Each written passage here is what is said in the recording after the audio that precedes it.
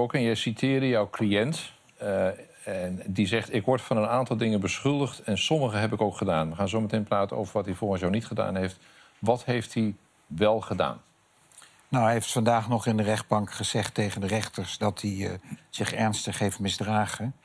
Eh, hij heeft gevochten. Hij heeft, eh, eh, er hebben heel veel mensen gevochten. En er wordt door getuigen gesproken over 15, 20 man die tegenover elkaar stonden in wisselende samenstelling op verschillende momenten.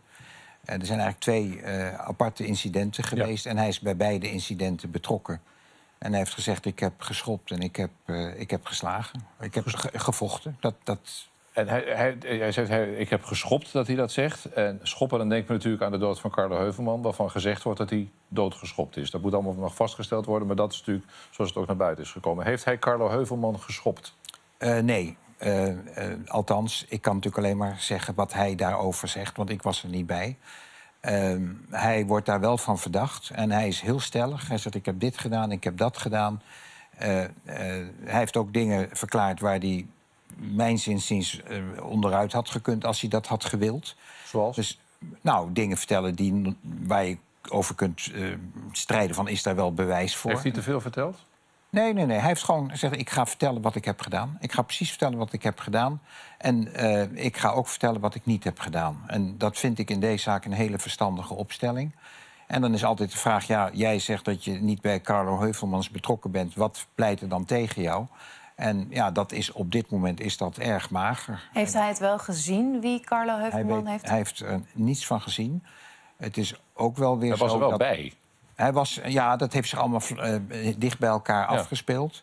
En het is ook wel weer zo dat zij eh, na afloop daarover hebben gesproken met elkaar.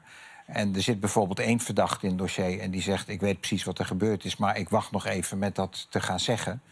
Eh, dus al dat soort dingen spelen ook mee. Dus Overigens, dat is ik- van de drie ook. ja, ja.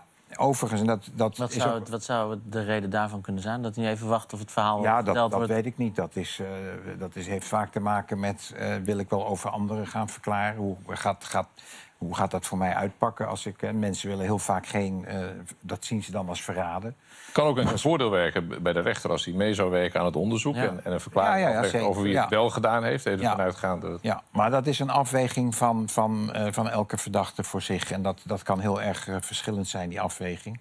Ik wil overigens ook nog wel, omdat dit in de media echt meteen is geworden van... het slachtoffer Carlo Heuvelmans is doodgeschopt.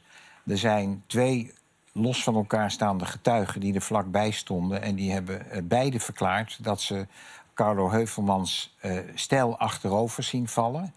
Eh, en dat hij met zijn, een van de twee zegt, hij klapte met zijn hoofd op de stoeprand. De ander heeft hem zien vallen en die zegt, hij klapte met zijn hoofd op de grond. Dat was haar waarneming.